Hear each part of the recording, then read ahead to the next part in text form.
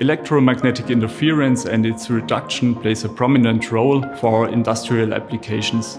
The Ölflex Servo FD zeroCM addresses one of the major root causes of EMI. The manufacturing facilities of our customers are crammed full with machines, control cabinets, converters, servo drives, generating a high level of electrical noise. That leads to a lot of challenges like impact on data transmission, leakage currents and EMI, corrosion on building structure, limited cable installation lengths and also complex cable connection.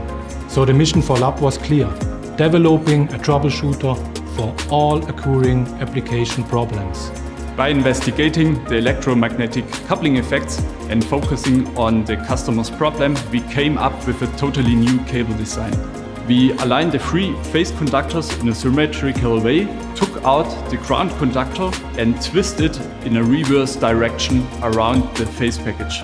With this arrangement, we achieve 100% electrical symmetry and also lower the electric and the magnetic coupling to its minimum compared to a four-chord or a known symmetrical design.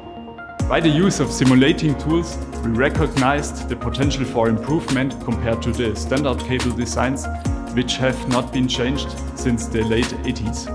A sketch on a sheet of paper is one side. The reverse side is to convert this idea into a feasible construction and efficient production process. But our product development and Lapp Cablework Stuttgart have done a fantastic job.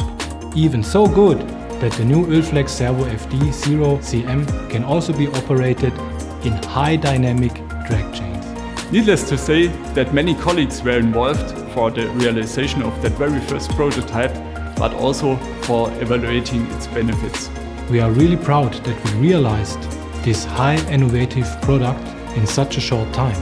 That was only possible because all departments work together hand in hand. Finally, winning the Eddie Lapp Award is an honor for our work as a team as one Lapp.